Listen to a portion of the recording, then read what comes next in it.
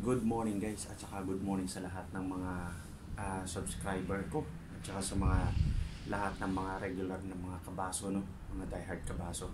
Ah, sa ngayon hindi po muna ako mag ALS kasi ah, sa kadahilanan nga na hindi ko kailangan magsaya sa araw na to kasi ah, dahil makikiramay ako sa isang ano isang family natin sa Whitey World na yun nga, siya yung ating tinutulungan, siya yung ating ginagabayan para ah mapabuti yung kalagayan ng kanyang mama. Pero sa kasawing palad guys, ah pagising ko kanina, ah, sakto talagang nag-message siya sa akin na ah, namatay daw ang kanyang mama ng 8.28 if ah, hindi ako nagkakamali no.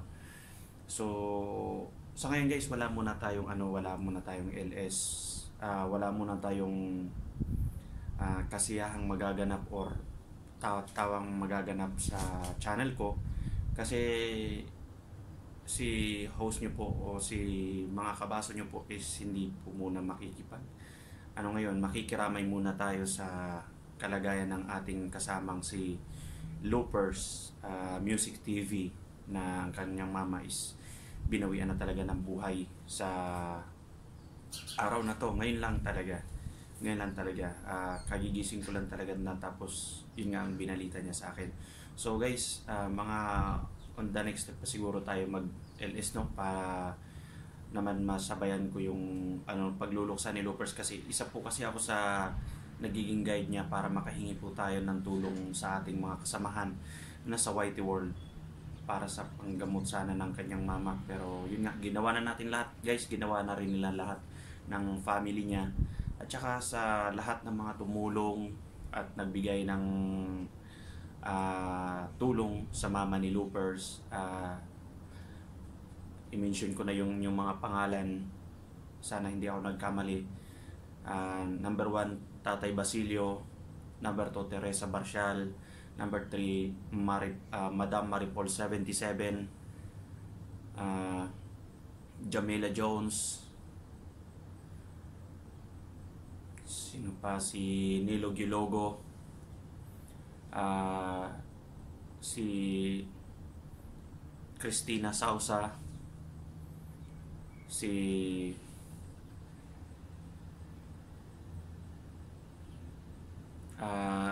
Magikerong Sugarol. At si Annie Ace. Si Annie Ace. Mm, sino pa yung mga tumulong sa kanya? Hindi pa kasi na-confirm guys no ni ano ni Loopers kung sino pa yung iba pang tumulong. Pero maraming maraming salamat talaga. Magpapasalamat ako sa inyo ah, nang dahil sa aking channel.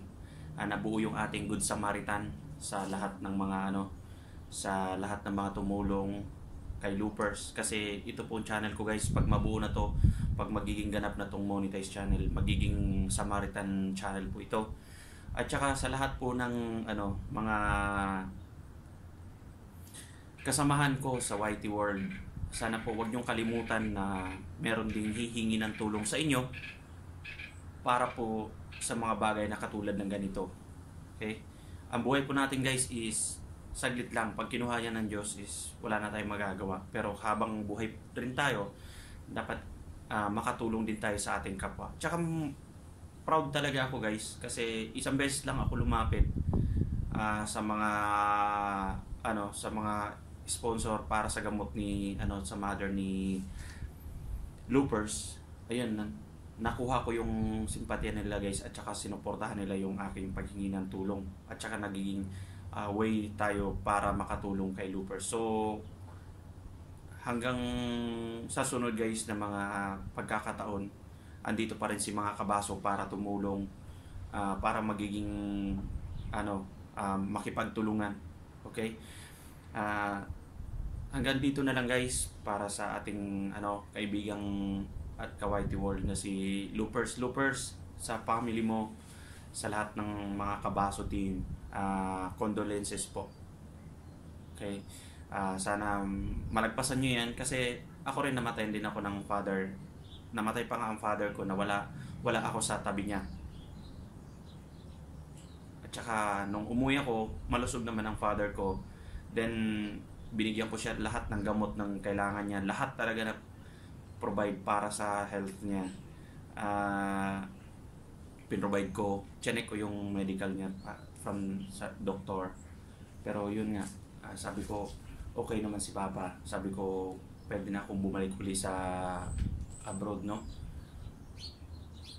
Nung pagbalik ko, nabalitaan ko na lang guys, isang buwan pa lang namatay na yung papa ko. So, ang sakit kasi kapiling ko siya, nagkakasakit siya. Ah, ano, hindi naman siya sabi nagkakasakit guys kasi 2 kilometers, 2 kilometers kaya niyang lakarin, no? Pabalikan pa yon, balikan yon. Sabi nila may sakit daw sa puso yung papa ko pero sa pagkakaintindi ko guys, doon sa lugar na pinag-anuhan niya, pinag-initan siya guys ng kanyang kapatid, no? So, yun. Sad to say lang na ang buhay talaga ng tao pag ginusto na talagang kuhanin ng Panginoon, makukuha talaga. So, guys, i-pray na lang po natin na ang kaluluwa ng mama ni Loopers is ah, kung saan man mapunta. Pray na lang po natin na si God na lang po ang bahala, okay? Okay guys, ah, sunod nyo na lang po ako makikita at nang di wala tayong time ngayon na ma ano um, makipagtawanan. Okay guys, magsaya. Wala po ang sana, sana po mga kabaso at saka sa mga solid supporters po ng kabaso team.